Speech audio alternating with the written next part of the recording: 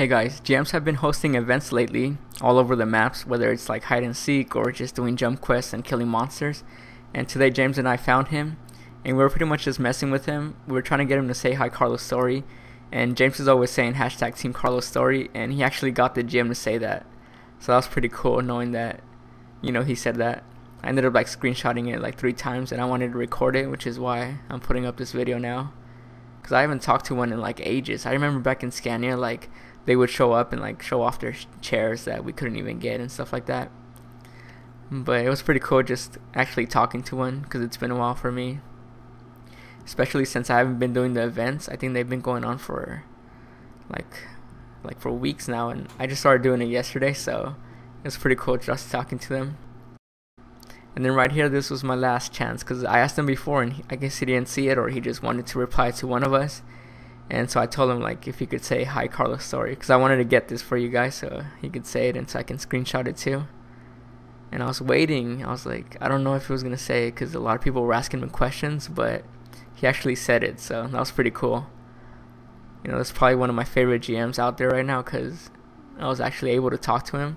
Because I remember yesterday I did an event and actually ended up winning. I got like third place in the Jump Quest one and the GM wasn't even like talking. He was just like, "Oh, you guys get a prize, and you'll get it eventually." And I didn't even get my prize, so I don't know what's going on with that. So it's kind of cool seeing like the different types of GMs because some I guess are talkative and some aren't. Some are just doing their jobs and just trying to get out of there. And I also wanted to know if like GMs looked at Maple videos because I know a lot of people that make Maple videos and everybody has like their own style and stuff. So I was just wondering if they ever like looked at the videos just to see how their game is played and stuff like that. Because I think I heard that some GMs don't really play the game or aren't allowed to. So I was just curious if like anyone from Nexon actually looked at like Maple videos.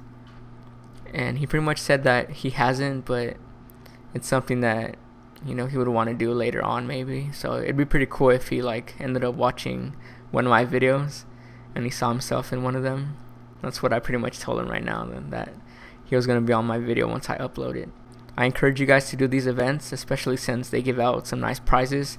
I think I got like five apples yesterday, which is pretty sweet. They're usually just here to answer questions and just to have fun with you guys, so make sure you take advantage of it. I know a lot of people that asked a lot of questions, and sometimes they didn't have an answer, but can't really blame them. But they did answer what they could, and I encourage you guys to do these events. They're pretty fun.